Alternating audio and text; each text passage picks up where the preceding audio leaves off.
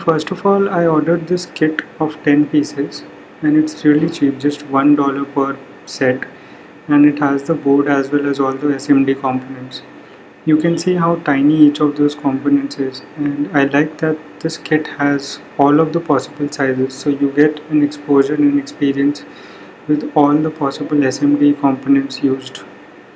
Next I had to order some solder paste.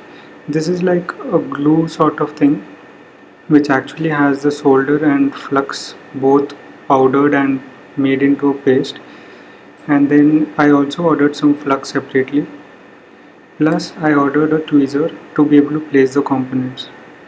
During the reflow process it is important to keep an eye on the temperature of the board. For this I bought this very cheap non-contact thermometer which is able to give me temperature readings from a distance and you can see here how it operates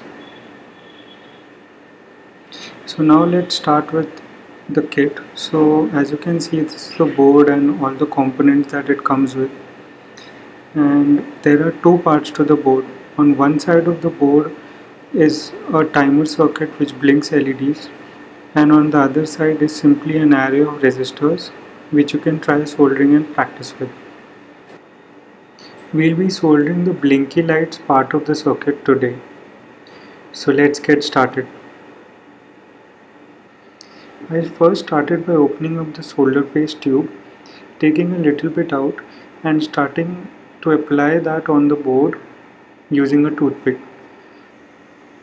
Once that is done, I started placing the components using a tweezer and because I had already hand soldered the board once, I knew which component goes where and how to give a correct orientation to the LEDs and diodes which are sensitive to the orientation in which they are placed.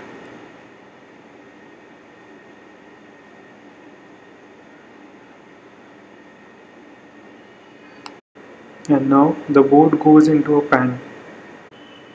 So let's discuss a plan of action here. Here is a typical reflow profile that I was able to search and the two key numbers that I see here are 180 degrees and 220 degrees. So what I want to do is slowly heat the board up, let it reach 180 degrees and then let it reach 220 degrees afterwards turn off the gas. I notice that the paste initially turns darker. You can also notice the line of paste that I placed for the ICs because the pads were just too close to each other. And the light that you see is the infrared thermometer. I am using it to keep an eye on the temperature of the board. You can also notice that the components don't appear to be placed very correctly. But it's okay because during the reflow process, once the solder melts, it pulls the component into the right place. You can see a little bit of flux evaporating from the board in this video. Look, most of the paste has melted and it has turned shiny.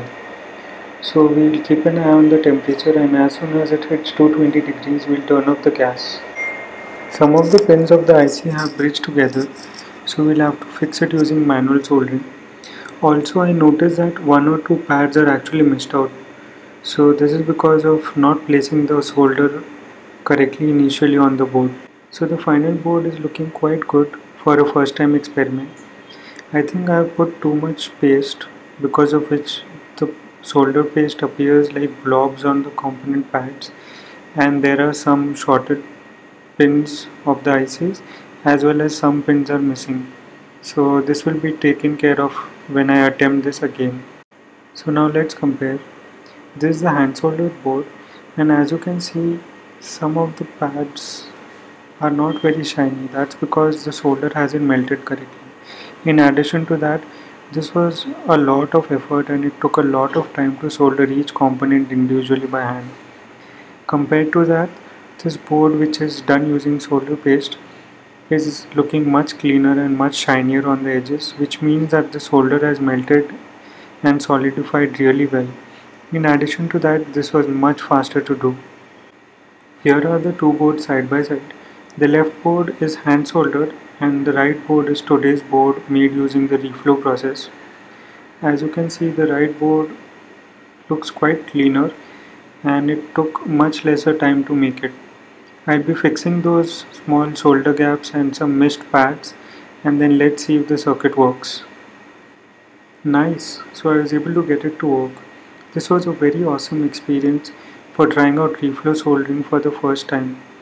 It actually turned out to be quite easy and the basics and the science of it and keeping care of the temperature is actually pretty straightforward once you understand it. If you enjoyed this video, consider liking and sharing the video with your friends as well as subscribing to the channel to stay up to date with my video series.